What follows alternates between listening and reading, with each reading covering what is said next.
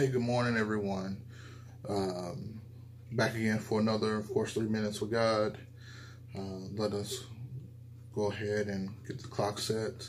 Um, still in Romans 12. Uh, today we'll be doing verse number 9. So, starting in the clock. So, Romans 12, verse number 9 says, Let, let love be without hypocrisy. Abhor what is evil, cling to what is good. Um, this is uh, one of my personal favorite verses um, because Paul is saying, let love be without hypocrisy. Um, when you see the word hypocrite used um, in the New Testament, um, it is basically defined as an actor, uh, one who plays a role, uh, one who, uh, I guess you can say, one who acts one way uh, in front of man, knowing that he is another way in front of God. Uh, one who who plays different roles, uh, and so what what Paul is saying is, don't be don't let love be um, as a as an act. So if you uh, are are you know loving your your fellow uh, your fellow Christian, your fellow brethren in Christ, then let that love be genuine. Um, and it's one of those things as that's uh, to be honest, I believe that's one of the things that has hurt the church uh, uh, in, so many ways. Is that there's there's been so much, um, hip, so many hypocrites, and it's it's one of those things as um, you know that we are, are saying one thing, but our actions are showing something totally different.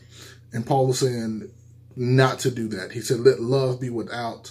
Any any without any falsehood and let it be genuine.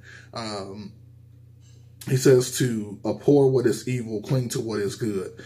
Abhor is um, is a a very very strong dislike. It's it's almost borderline a hate. And so what Paul is saying is to we we should almost hate what is evil, um, but yet we need to cling to what is good.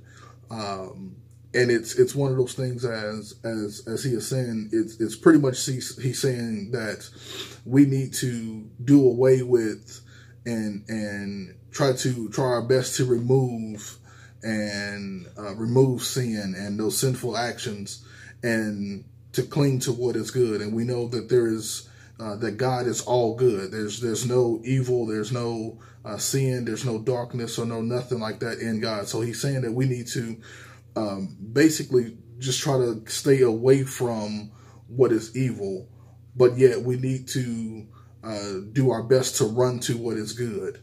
Um, and this is, like I say, this is one of my favorite verses. And so, uh, as we uh, get ready to close today, I'll leave you with this: is don't let your Christian walk be an act.